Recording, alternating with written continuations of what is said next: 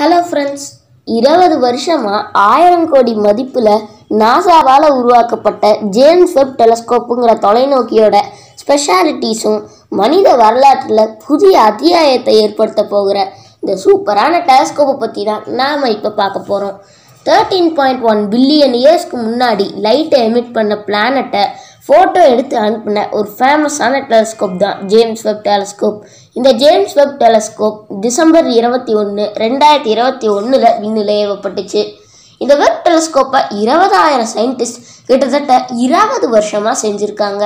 இதை நாசா பத்து billion dollar அதாவது இந்திய ரூபாயில் ஆயிரம் கோடி செலவு பண்ணி செஞ்சுருக்காங்க. இது இப்போ எல்லார் மத்தியிலையும் ரொம்பவே ஃபேமஸ் ஆயிடுச்சு ஏன்னா இது ஜூலை லெவனில் ஸ்மாக்ஸ் ஜீரோ செவன் டூ த்ரீங்கிற கிளஸ்டர் ஆஃப் கேலக்ஸிஸை ஃபோட்டோ எடுத்து அனுப்பியிருக்கு.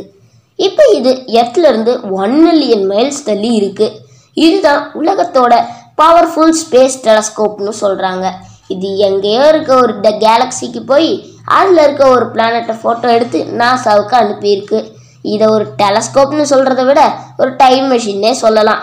தேர்ட்டீன் பாயிண்ட் ஒன் பில்லியன் இயர்ஸ்க்கு முன்னாடி லைட் எமிட் பண்ண பிளானட் இப்பயும் லேசாக லைட் எமிட் பண்ணிட்டு இருக்கோம் இந்த டெலஸ்கோப் அந்த பிளானட்டை இப்போ இவ்வளோ லைட் எமிட் பண்ணுதுன்னா தேர்ட்டீன் பாயிண்ட் ஒன் பில்லியன் இயர்ஸ்க்கு முன்னாடி எவ்வளோ லைட் எமிட் பண்ணியிருக்கோங்கிறத கம்ப்யூட்டேஷனல் ப்ராக்ரஸ்லாம் பண்ணி நமக்கு ஃபோட்டோ எடுத்து காமிக்குது.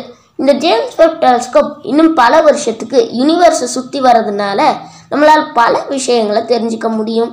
இது எடுத்த பிக்சரை டீப்பஸ்ட் பிக்சர் ஆஃப் யூனிவர்ஸ்னு சொல்கிறாங்க இந்த டெலஸ்கோப் ஹப்பிள் டெலஸ்கோப்பை விட ஹண்ட்ரட் டைம்ஸ் பவர்ஃபுல்னு சொல்கிறாங்க இதில் இருக்க பெரிய மிரர் கோல்டாலேயே செய்யப்பட்டது.